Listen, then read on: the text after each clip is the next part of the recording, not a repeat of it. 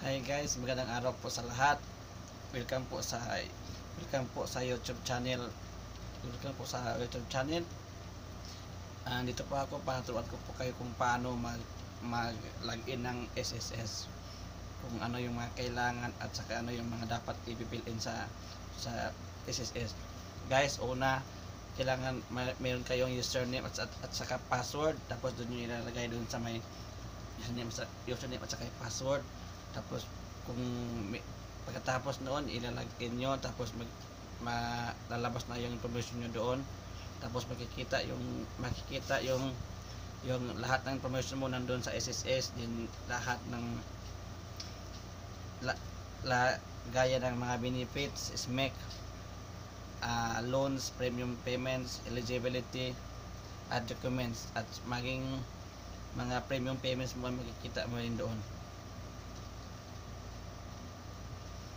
din doon mo rin makikita yung mga mga history ng mga employment mo kung nababayan ba yung mga mga pinagdidak ng mga employer mo or hindi ba nababayan doon mo rin makikita lahat. At bukod doon mayroon po mayroon po kayong maraming magagawa doon sa SSS nyo makipag-file po kayo ng uh, sal, sal, salary loan uh, maternity at marami pang ibang mga gusto nyo ilulun doon kailangan po lang po kayo makaroon kayo ng ng SSS um, uh, my online account. Kung wala pa kayong SSS my online account uh, magpa-reserve na po kayo. Pumunta lang po kayo doon sa may uh, website nila sss.ps uh, sss.gov.ph at kung wala pa talaga kayong mga ano uh, marami po silang mga options at doon po lang kayo mamimili ng mga options nila kung paano po kayo maglalagin doon uh, ang mga options po kasi doon ay makikita mo doon yung yung uh, pwede mong ilalagay doon yung reference number yung bagong reference number or yung SSS na naka-register doon sa pagkuha mo ng SSS tapos doon eh mag-fill in ka ng mag-fill in ka ng ng uh, mga details din doon. Tapos mapapadala sila sa iyo ng uh, email tapos may email doon na link i-click nyo yun for uh, confirmation. Saka doon na po kayo gagawa ng uh, gagawa ng uh, password nyo. At saka yung password nyo ay nag expire yan tuwing every 6 months po para sa para po sa inyong security ng account nyo.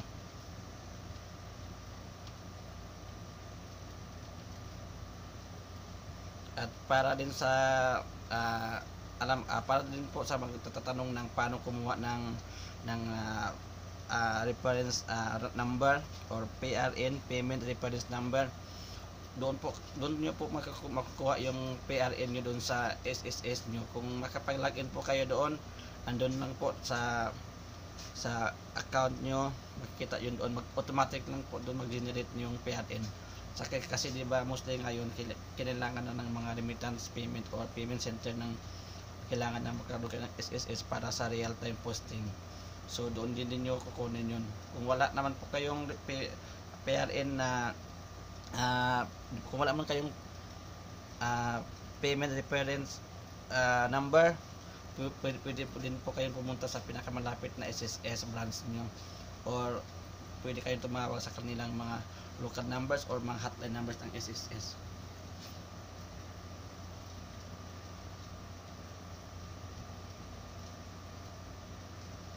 para po sa mga uh, mga dagdag kaalaman dyan, pwede din po kayo bumusita sa kanilang website at magkaroon po kayong sapat na kaalaman tungkol sa pag, uh, paano mag uh, magawa ng online uh, account SSS or pwede kayong uh, pwede kayong magpunta sa pinakamalapit na SSS at magpa-assist din po kayo doon.